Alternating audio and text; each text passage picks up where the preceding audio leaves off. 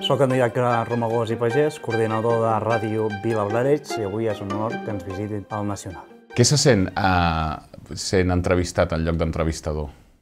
És molt difícil, sempre ho he dit. Uh, per mi és molt més fàcil fer entrevistes que no pas respondre.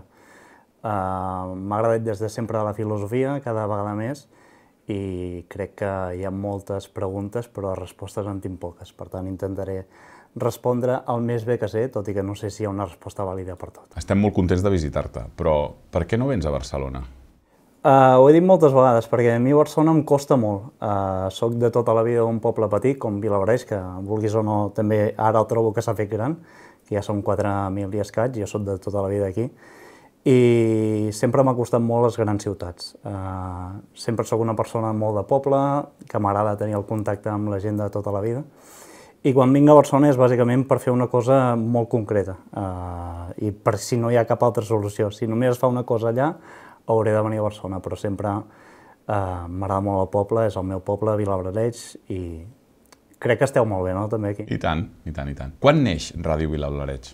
Uh, ràdio Vilabraleig neix ja fa uns 10 anys llargs. Um, jo havia fet ràdio des de sempre, des de sempre vull dir, des de l'adolescència, uh, quan abans era la reactivitat. Uh, jo vaig posar amb l'adolescència, amb 15-16 anys hauria de tenir, i sempre m'havia apassionat abans al futbol. Abans era del Barça i ara m'he canviat d'equip i ara sóc del Girona Mort. Um, I abans el que feia bàsicament eren les cròniques del Barça. Fins que va arribar un punt que em vaig anar fent gran, 18, 19 anys, i vaig agafar sobretot consciència. Em va començar a interessar la literatura, ja veieu tots els llibres que tinc aquí, que sóc un lector que llegeixo molt i molt, m'agrada molt la música, sobretot la música catalana, que és el pal de paller d'aquesta ràdio i tot el que té a veure amb la cultura.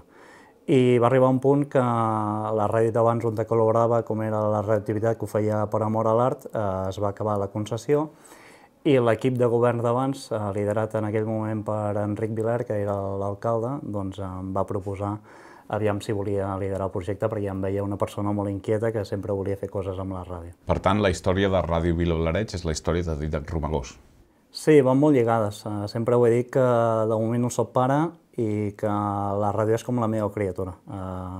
Per tant, estic molt pendent, no les 24 hores, però quasi, perquè ja puc dir que la primera cosa que faig sempre abans d'anar a dormir és mirar si funciona la ràdio, per aviam si ha passat alguna cosa, i la primera cosa que faig quan em desperto és mirar si la ràdio funciona o no. Sempre, en tota la història, només hi ha hagut música en català? Sí, des dels inicis. Uh, vaig apostar per aquest tema perquè des del principi vam veure que era una oportunitat. Uh, al principi era només mirar aviam com ens podien diferenciar també. Em trobava que sobretot les uh, ràdios locals d'aquí al costat uh, posaven música que posaven els grans mitjans de comunicació. I vaig veure que així la gent no escoltaria Ràdio Vilareig. I com t'he dit abans, eh, sempre m'havia apassionat la música en català i mira, eh, no sé per què, com una mica el llençet de l'Aix Busto doncs, va ser el leitmotiv de dir doncs anem a per totes i aviam apostem per una emissora que només emeti música en català. Em vaig començar a contactar en aquell moment, eh, ho recordo molt bé, que vaig començar a trucar a les discogràfiques que ningú ens coneixia perquè començàvem i ara ja totes ens coneixen i totes contacten i al principi era molt difícil aquest nom del poble, no? Vilabrareig. Eh, em vaig fer un far de, de dir lletra per lletra com era el nom del poble i a partir d'aquí els hi vaig dir això, que teníem aquesta idea de fer una ràdio pública compromesa amb el país i que la nostra intenció seria posar 24 hores de, de música dels països catalans. Però no només poseu música, feu algun altre tipus de programació. Correcte. Al principi només era això, perquè la ràdio sóc jo, com deies abans, estic molt content també que hi ha molts col·laboradors que venen aquí a fer el seu programa i marxen, però ho fan per, a, per amor a l'art, però el dia a dia sóc jo.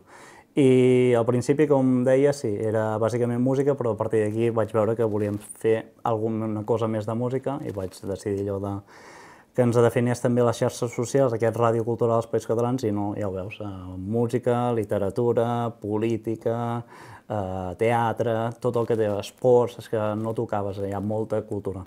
I sempre he dit que la cultura sempre és la gran oblidada i és el que ens va salvar, vulguis o no, l'ànima, que ja ens n'hem oblidat moltes vegades, a l'etapa de la Covid. A l'etapa de la Covid, gràcies a la cultura, la gent va poder anar sobrevivint el dia a dia, perquè clar, anaves escoltant música a casa, llegies a casa, miraves moltes pel·lícules a casa i gràcies a la política, a la, a la cultura, la gent va sobreviure aquells dies. És allà, quan fa el boom, tens detectat eh, més o menys quina etapa fa el boom Ràdio Vilablareig? No t'ho sabria dir. Eh, el que sí que puc dir és que he tingut molta sort, en el sentit que hi ha hagut moltíssima gent que quan ha vist aquest projecte, doncs eh, gent que s'estima el país i la llengua i la cultura, quan han vist el projecte i la nostra manera de fer ens han ajudat moltíssim. I el fet de les xarxes socials ha estat eh, una revolució. Jo sempre dic que aquest projecte, sense les xarxes socials i sense l'internet, no seria el que és, perquè som una ràdio local, però ens hem convertit en una ràdio nacional en el sentit que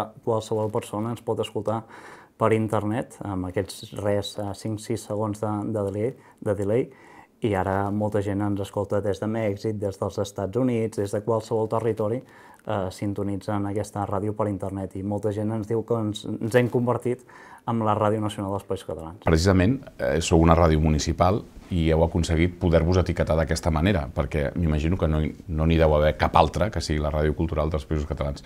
Aquest èxit només el deus a internet i a les xarxes o hi ha alguna cosa més?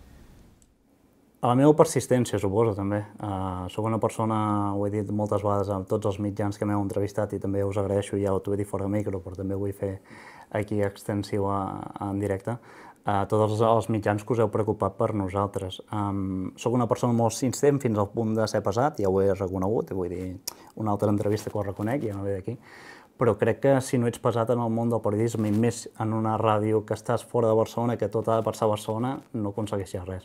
I aquí hem aconseguit coses que a mi em semblen, semblen màgia, perquè hem aconseguit que molta gent hagi vingut expressament fins a Vilablareix i allò que moltes vegades Uh, deies, per què no vens a Barcelona? Doncs he aconseguit que gent de Barcelona es vingui fins a, no a Girona, sinó fins a Vilablareig.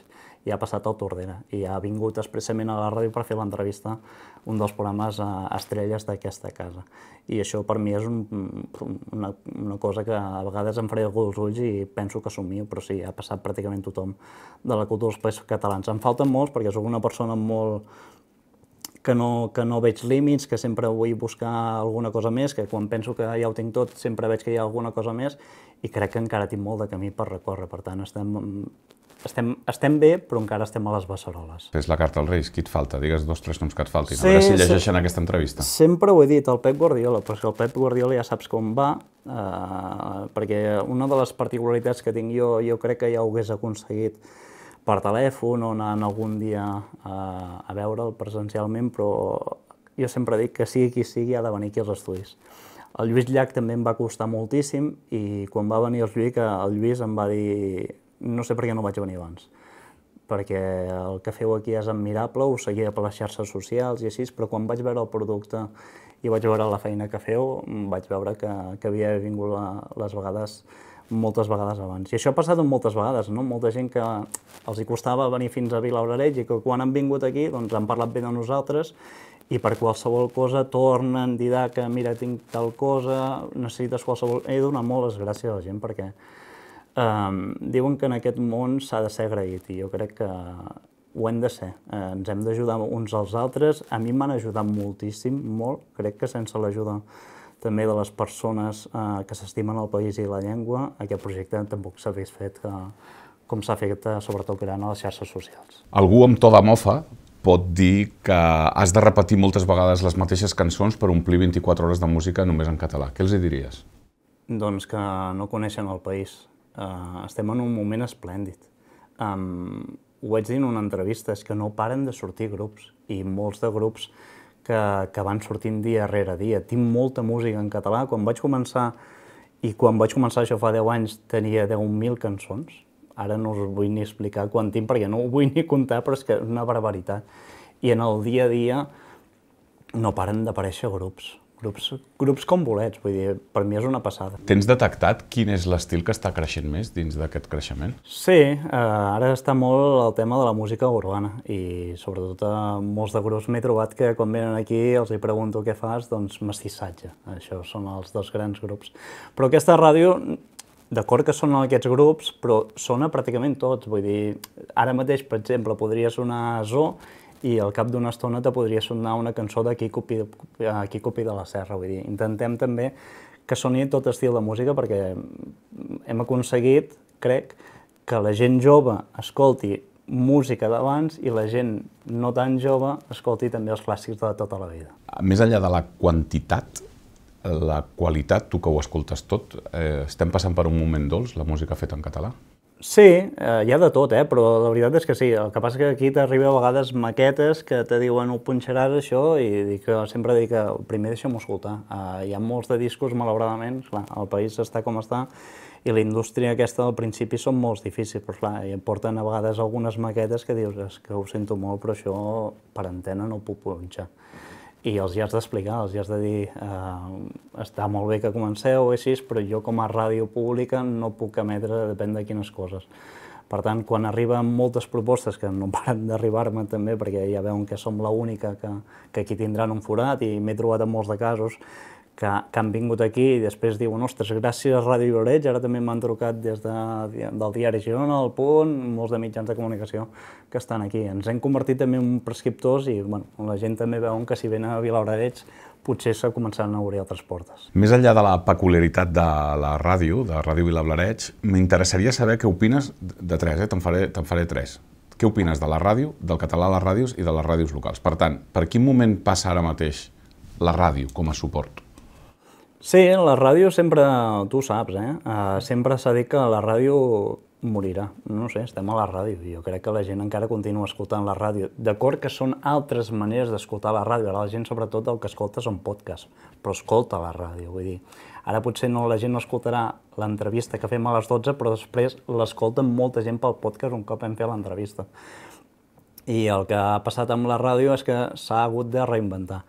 Si em permets amb això, també el que no m'agrada eh, amb el tema de la ràdio és que ara veig molts de mitjans de comunicació que fan ràdio i després tenen una càmera posada.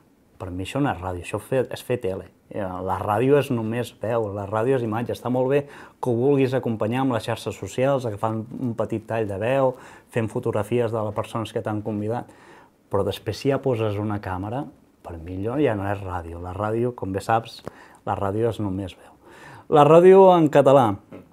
Hi ha molts de professionals i, i molta gent que ha sortit de, de les ràdios locals. Les ràdios locals és l'escola, és l'escola on te pots, aquí a Vilaoreja i a totes les ràdios locals doncs, pots fer de tot, vull dir, pots fer des d'entrevistes, pots ensenyar als nens a l'escola, que a mi m'apassiona veure els nens a l'escola aquí com estan ben nerviosos, i després veure com fan el programa i després al final de curs eh, es munta una festa i els pares poden escoltar els programes que han vingut a fer les criatures, pots, eh, que facin, eh, pots fer que les associacions participin de la ràdio, pots fer que els partits polítics municipals facin servir la ràdio.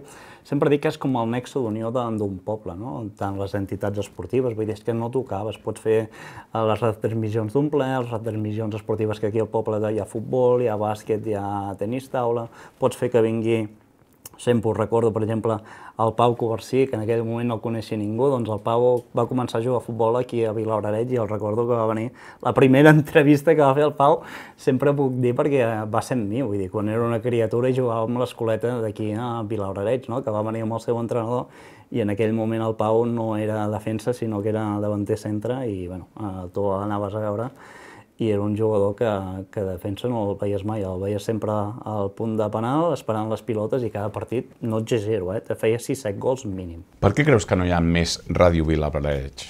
Això és una cosa que, us hauria, que ho hauries de preguntar als altres, no ho entenc, no ho entenc. Um, va venir fa poc la Clara Ponsatí, i precisament em va dir això. Ella també al mig de l'entrevista s'ho preguntava. Uh, com pot ser que en un país amb tantes ràdios locals no hi hagi més suport a, a la llengua? I també s'ha vist eh, últimament amb el CAC que la majoria de ràdios locals no compleixen el 25%, només dic un 25%, eh? Nosaltres fem el 100%, però la gran majoria de ràdios locals no arriben ni al 25%. 25% això, no sé, se'ls hauria de preguntar a les altres ràdios. Jo crec que falta una mica d'implicació i també um, creure-s'ho, que sempre hem pensat allò de que la música de fora és millor que aquí i no, eh, s'ha pogut comprovar que hi ha molts de grups d'aquí que s'han fet internacionals, els mateixos el que parlava abans, Oques Grasses, Charango en el seu moment, hi ha molts de grups que han fet gira i han, han cantat en català, no, no ho entenc. No només en l'àmbit de les ràdios locals, a la iniciativa privada tampoc cap, hi ha cap ràdio Vilablareig. Sí, però,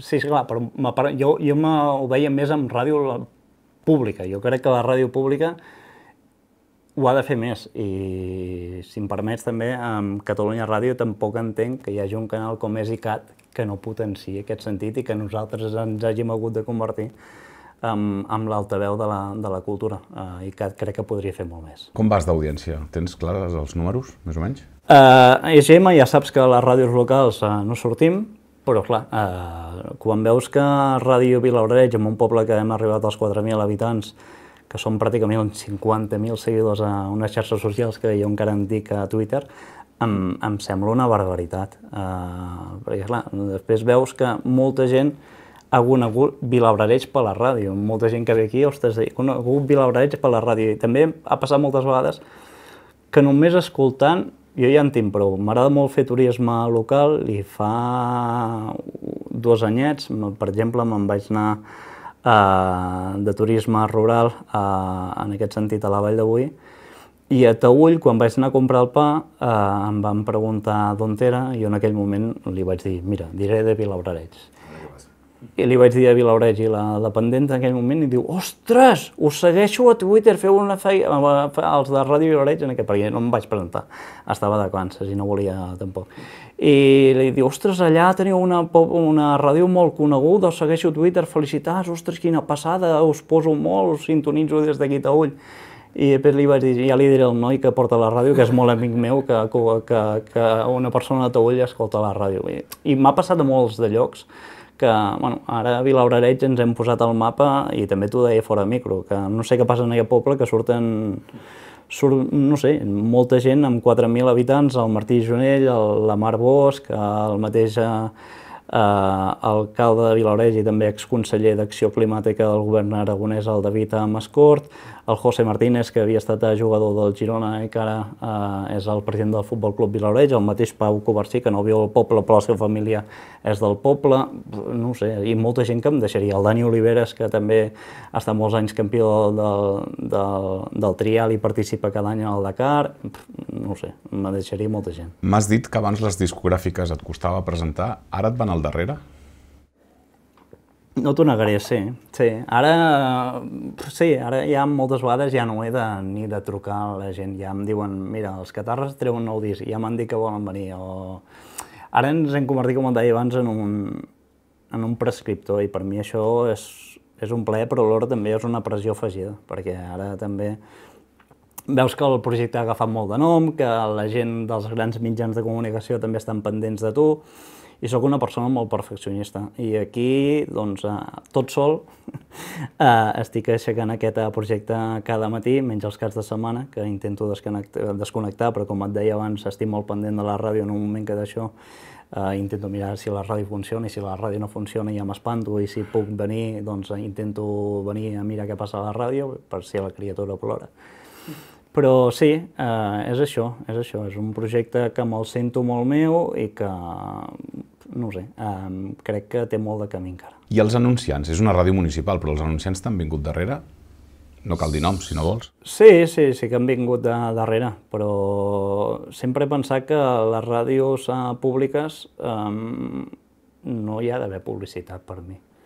Jo crec que com a ràdio pública ha de ser una despesa, però alhora és una gran inversió, perquè l'alcaldessa mateixa, eh, quan va a, arreu del territori, m'ho ha dit més d'una vegada, um, o, els, o els alcaldes d'abans, el David Mascort, l'Enric Viler, quan deien que era l'alcalde de Vilaoreig, vulguis o no, ja, ja, ja et dona una gran inversió. I sí, el, la marca Vilabreig ven ara, no sé, eh, estem de moda, també la ciutat esportiva de Girona, és que no sé, Vilabreig ja està de moda. Al llarg dels 10 anys, sí. t'ha vingut a veure algú del govern estant al govern? Sí, no, no, si hem passat, eh, sempre ho he dit, de els, els del govern de, del referèndum del 1 d'octubre em van venir tots, menys el, el Lluís Puig, Tota la resta em van passar en algun moment durant aquell 2017.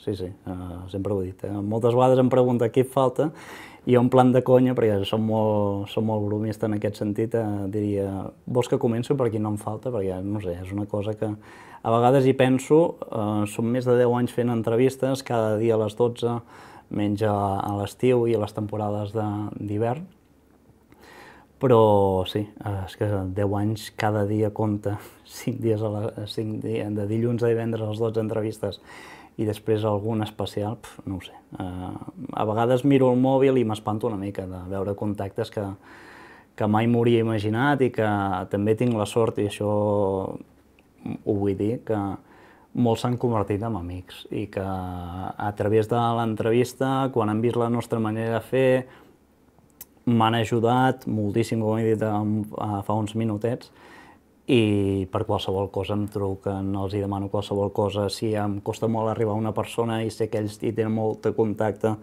me facilitaran el contacte i diran hi has d'anar i arriben, no sé, eh, de veritat que he donar les gràcies una altra vegada. Perdona que no m'ha quedat clar, eh? Des de l'any 2017 no ha vingut cap conseller estant en exercici del càrrec?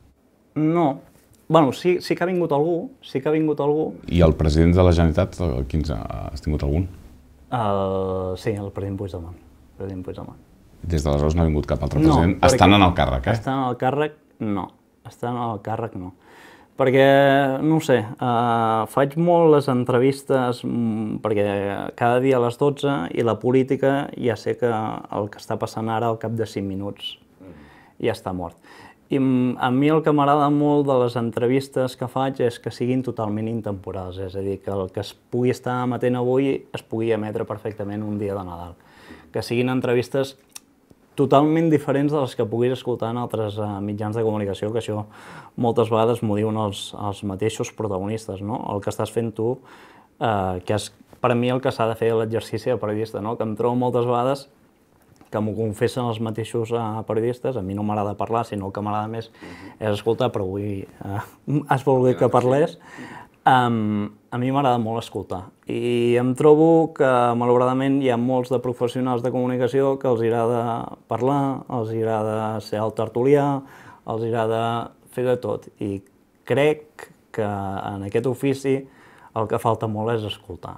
Escoltar, escoltar i escoltar. I deixar parlar la persona, és el protagonista. Si avui, per exemple, l'entrevista en aquest cas és entrevista amb Didac Romagós, el que ha de parlar més és el Romagós. Hi ha altres mitjans de comunicació, tu ho saps molt bé, a vegades sembla que el protagonista sigui més el que té davant el micro que no parla la persona que has convidat. Ara hi ha una nova conselleria, un nou departament que és de política lingüística. Sí. No sé si t'hi has posat en contacte i si li has fet alguna mena de, de carta als Reis, aprofitant que hi ha un departament específic només per al català. De moment no. Vull mirar com, com evoluciona aquest govern, perquè encara no han passat aquells 100 dies de marxa. Vull mirar com evoluciona i depèn de com mirarem, aviam si es pot fer alguna cosa al respecte, però de moment, a dia d'avui no. Sempre pots entrevistar el conseller Francesc Vila. Sempre. Hem parlat de política, hem parlat de periodisme, hem parlat de comunicació. Eduard Pujol, Tomàs Molina, Francesc Marc Álvaro, Pilar Calvo, vigila que no et facin fer el salt a la política, tu. Sí, no ho sé. A mi la política m'agrada molt, però no m'agrada la política d'ara. Aviam, com m'ho expliques? Soc una persona molt sensible, massa sensible, i crec que en el món de la política eh, hi ha masses ganivetades. I jo, per anar en un partit polític, perquè tinguis mm, ganivetades, ja no des de fora, sinó encara molt pitjors des dels teus companys de partit, a mi això no em va. A mi això no em va. I crec que el que estic fent des d'aquí ja és molt pel país. Vull dir que tot el que s'està fent des de Ràdio Violets, és un poble de 4.000 habitants al costat de Girona, promovent la llengua, la cultura i tot el que té a veure amb la música, eh, crec que som el bastió. Jo sempre dic que alguna vegada, alguns fins i tot, m'han fet un article que som la Gàlia. Sí, som la Gàlia perquè som la, la resistència en aquests moments també el que preguntaves abans de, de la llengua, no? de, de parlar en català, que és una cosa que jo crec que és la més normal del món si algun dia volem ser lliures, que aquí tenim una cultura i sobretot tenim una llengua i per tant l'hem de preservar. I els mitjans de comunicació crec, i més encara els públics, hem de fer molta feina en aquest sentit, molta. Didac, moltíssimes gràcies i per molts anys. Gràcies per atendre'ns i per aquesta visita. A vosaltres, sempre que vulgueu, ja sabeu on és Vilaurarets.